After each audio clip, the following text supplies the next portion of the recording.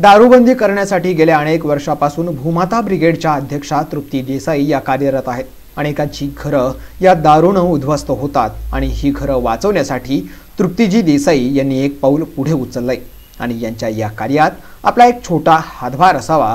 या हेतूनं दक्ष पोलीस टाईम्सचे संस्थापक विजयजी टाटिया यांनी पुणे येथे तृप्तीताई देसाई यांच्या निवासस्थानी भेट देऊन तृप्तीजी देसाई यांना संपूर्ण महाराष्ट्रात दारूबंदी व्हावी यासाठी त्यांना आपल्या खलाणे गावात येण्याचं निमंत्रण दिलंय.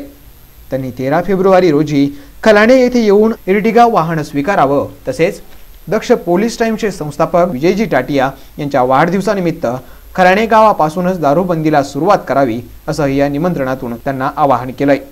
तृप्तीजी देसाई या प्रथमपासूनच महिलांच्या हक्कांसाठी सामाजिक कार्यांसाठी झटत आल्यात.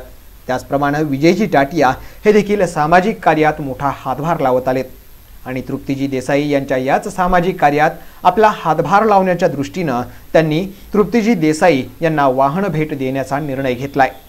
आणि त्याच अनुषंगाने त्यांनी तृप्तीजी देसाई यांची भेट घेऊन त्यांना आमंत्रण देत त्यांना वाहन भेट देण्याचं वचन दिलं. Daksh police news bureau Nashik.